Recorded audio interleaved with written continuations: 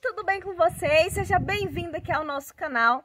Eu sou a Ivone, vou convidar vocês também já de cara aqui para nos seguir lá no nosso Instagram, que é arroba Vida Verde Sustentável.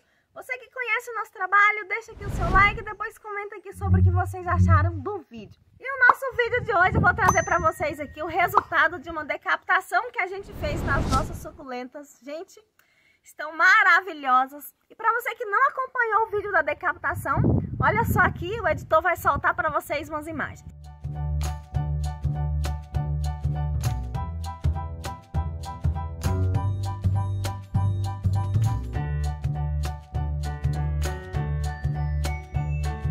Então, como vocês viram e eu ensinei para vocês todo esse processo, vocês acabaram de ver aí sobre a decapitação.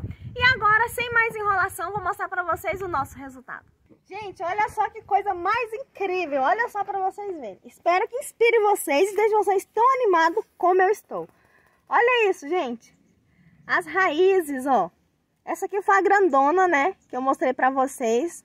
Que a gente fez a decapitação. Gente, vale muito a pena. Olha isso aqui. Olha aí, pessoal, do lado esquerdo da tela eu cortando. E do lado direito, o resultado de agorinha que eu tô mostrando para vocês, tá?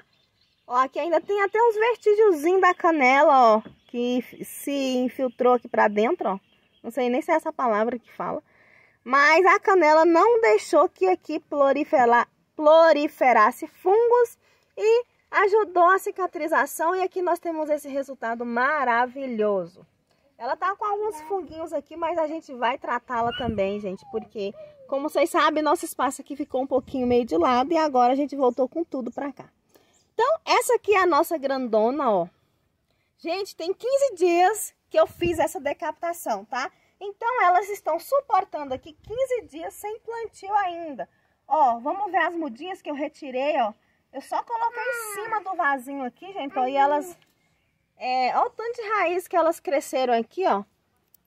Esse vasinho aqui, ó, é o dessa daqui, ó. E as raízes, olha como estão, ó.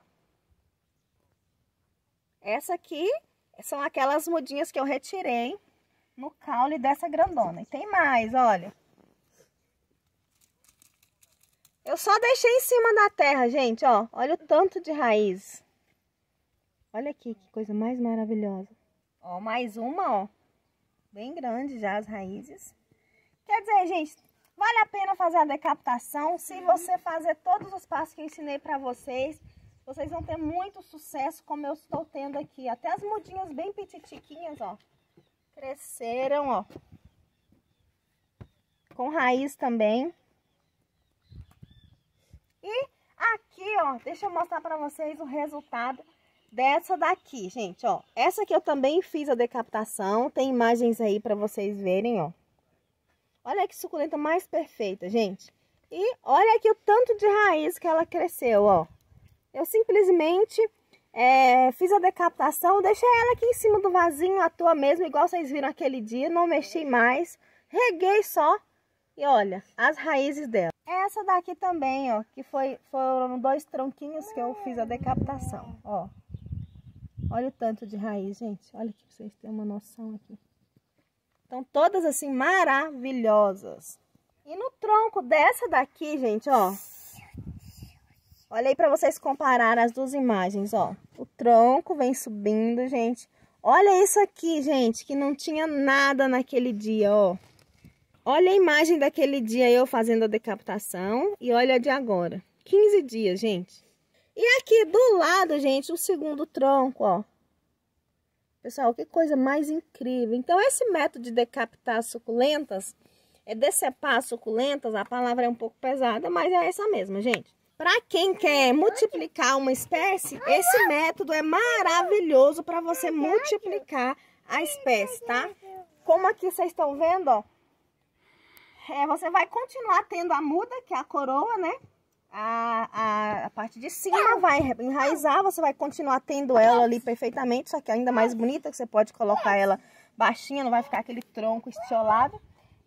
Vai nascer muitas mudinhas aqui no galho, como vocês estão vendo. Deixa eu mostrar de novo aqui desse lado aqui, ó. Ó. Olha em volta desse caule. Deixa eu ver isso pra... Olha isso. Vai ter esse montão de mudinha e aí vai valer muito a pena você fazer esse trabalho, gente. Maravilhoso. Agora, deixa eu mostrar pra vocês ah, essa daqui que eu cortei, da grandona. Vamos lá.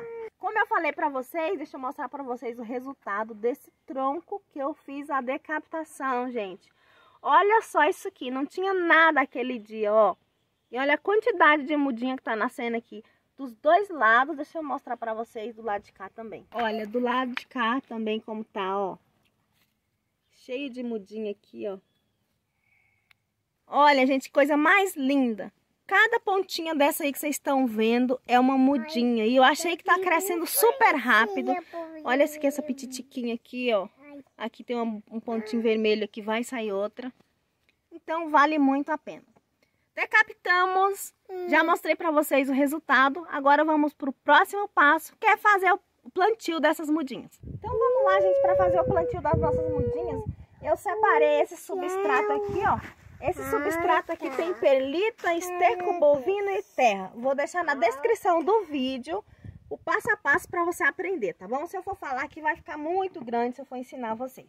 Então, substrato ideal para suculenta, poroso, é, rico em matéria orgânica, não vai deixar a terra ficar solada, né? Que é muito importante no cultivo das suculentas.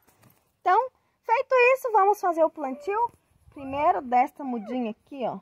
Linda, maravilhosa. Com cuidado, ajeita ela direitinho, não precisa ficar apertando muito, tá? Vocês viram aí que eu só deixei ela em cima do vaso e ela já se, é, já se enraizou no outro vasinho. Então aqui já fizemos o plantio, não precisa ficar com muita lenga não, tá bom? Prontinho, mais uma. Gente, eu mudei de ideia, eu vou fazer essa grandona aqui, eu vou colocar nesse vasinho maior. Ó, só faz um buraquinho, coloca ela de leve, ajeita a terrinha e pronto, gente. Agora que é só a gente cuidar, regar direitinho.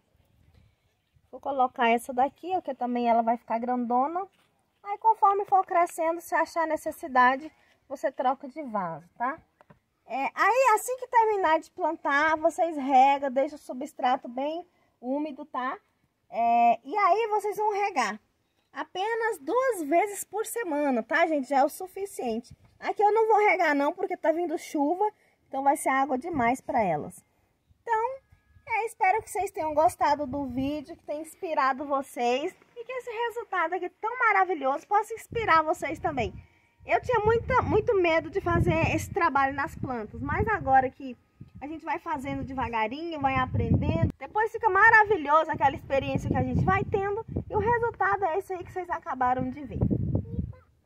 Então eu recomendo que você crie um pouquinho de coragem e faça na de vocês também. Principalmente você que trabalha ou quer trabalhar com suculenta vendendo as mudinhas, as suas mudinhas vão multiplicar demais se você fazer esse método, tá bom? Então é isso, gente. Espero que vocês tenham gostado. Deixa seu like, compartilhe o vídeo.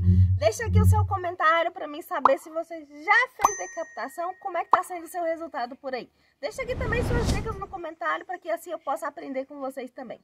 Eu vou ficando por aqui, gente. Beijo. Até o próximo vídeo.